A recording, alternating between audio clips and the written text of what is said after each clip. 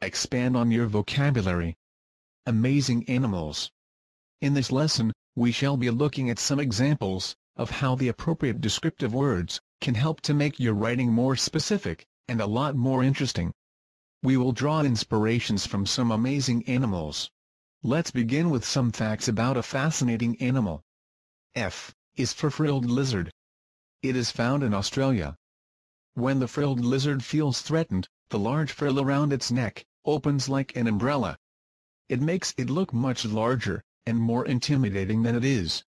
This may help to fan off predators, but if it doesn't, then it would have to run up the nearest tree. The intimidating frilled lizard. Intimidating here means terrifying, or to make timid.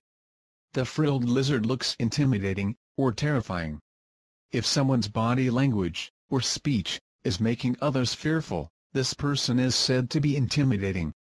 His authoritative voice is socially intimidating. The size of the opponent's supporters poses an intimidating presence. They found her scowling expression rather intimidating. In some culture, looking people in the eye is seen as intimidating. The bully's hostile glare was clearly intimidating. The intimidating group of teenagers demanded money from him. M is for meerkat. The meerkats are found in southern Africa. They are often seen in groups. These gregarious animals are well known for their upright posture. A few will typically serve as lookouts, watching for predators that can snatch them from the ground. Interestingly, they dig for scorpions, whose stings have no effect on them. The word gregarious was originally used to describe animals that live in groups. Not surprisingly, it is also used to describe people who like being in groups. In other words, a gregarious person is someone who is outgoing, sociable, and enjoy the company of other people. Being friendly and gregarious, he readily chats with people from all walks of life. As she was not a gregarious person, she often avoided social gatherings. She is naturally gregarious, and thrives in social situations. A public relations job is probably a good fit for someone who is outgoing and gregarious.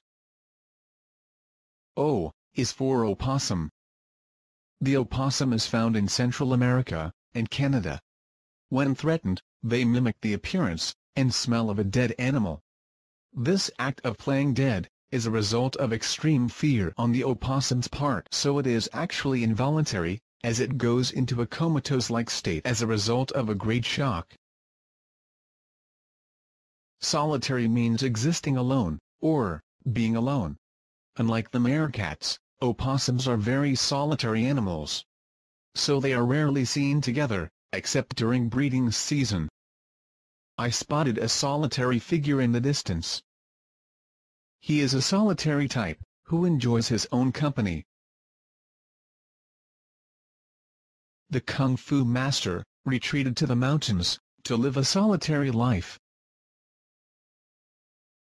Shrek was a solitary ogre, who lived in a swamp.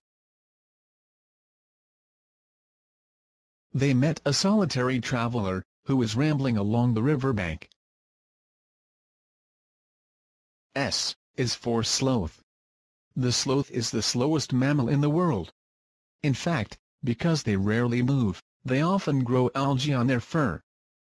Sloths live in the rainforests of Central and South America, and spend their entire lives hanging in trees. Somnolent means sleepy, or drowsy. The sloth is the most somnolent animal, sleeping from 15 to 18 hours a day. Someone who is somnolent is inclined to, or heavy with sleep.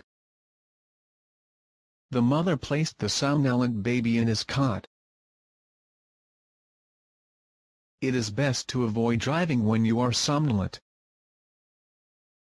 The medication made him somnolent. Her somnolent expression showed that she is still very tired. P is for platypus. The duck-billed platypus has a supersensitive nose that is shaped like a bill. It is found in eastern Australia and Tasmania. Placid means pleasantly calm or peaceful. Although the male platypus looks placid, it is actually the most poisonous mammal in the world. A dingo, a wild dog, will be dead in minutes, if the platypus strikes them with its poisonous pointy spur, found on the inside of its ankle. Sam is not easily upset, because he has a placid personality. The waiters were placid, and friendly, and did not seem to mind the noise from the customers. Although he was going through a difficult time, he was still placid, and easy-going.